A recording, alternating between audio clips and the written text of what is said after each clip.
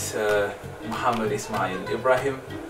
I'm came from Finland and I came here uh, since last week.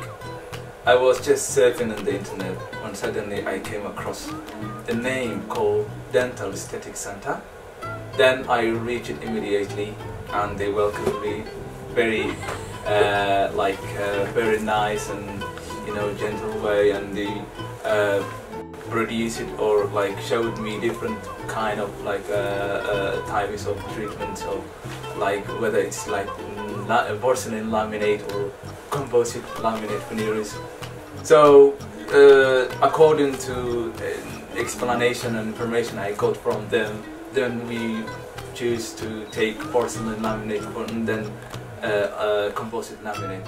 And today, as you can see, like you know, the difference is like totally like from sky and the and the ground. So uh, I hope you like find more information if you come here and definitely you will get like a very good treatment and very well welcoming and the staffs are very great and like they are very yeah that's all thank you very much